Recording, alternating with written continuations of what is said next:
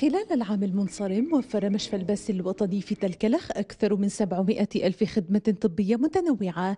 وحاليا تم تخصيص شعبة عزل للحالات المشتبه بإصابتها بفيروس كورونا المستجد مزودة بكامل التجهيزات الطبية وتحوي 18 سريرا.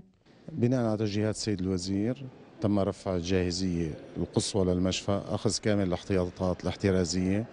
تم إنشاء قسم آه، عزل في قسم الإسعاف لفحص الأمراض التنفسية فقط. آه، شعبة عزل مؤلفة من 18 سرير مع عناية غرفتين عنايات بقسم العزل داخل قسم العزل تم تخصيص قاعة عنايات أربع أسرة أيضا الأمراض التنفسية للحالات المشتبهة.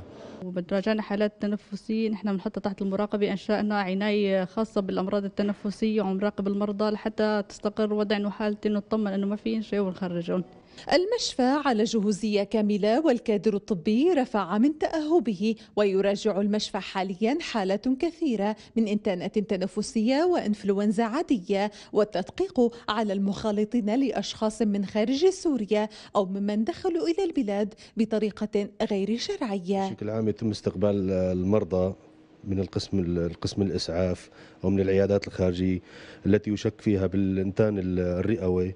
السعل الجافي الترفع الحروري بيتم آه، قدوم المريض على القسم الطبقي لهون بعد إجراء صورة أشعة عادية إكس راي للصدر. وبيتم آه، تحليل آه، الصورة وقراءة الصورة. حسيت بحرارة من شي نهارين وسعل ودغري مباشرة توجهت على مشفى الكلخ لتلقي العلاج وأكشف عن حالتي.